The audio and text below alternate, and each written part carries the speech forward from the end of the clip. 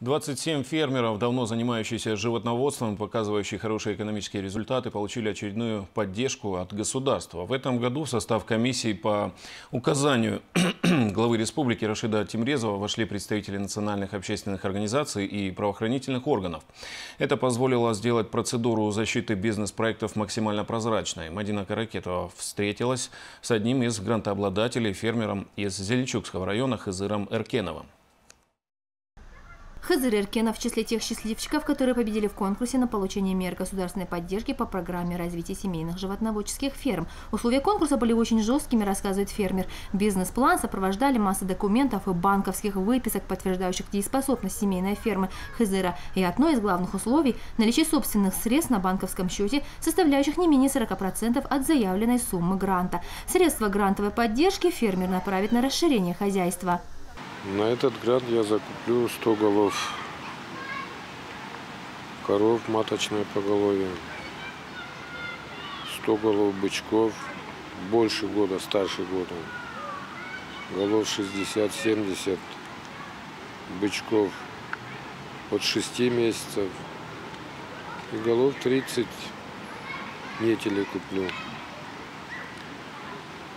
Вот. И на миллиона два куплю кормораздатчик, что очень необходимо в нашем хозяйстве.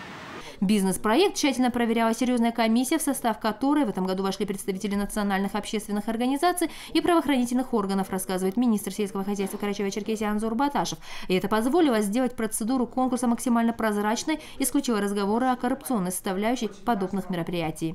В состав комиссии также вошла председатель аграрного комитета парламента Карачаево-Черкесской республики э, Наталья Власенко. Всего в состав комиссии вошли 13 человек. Хочу отметить, что введение в состав конкурсной комиссии членов общественной организации и правоохранительных органов мы хотим сделать ежегодной.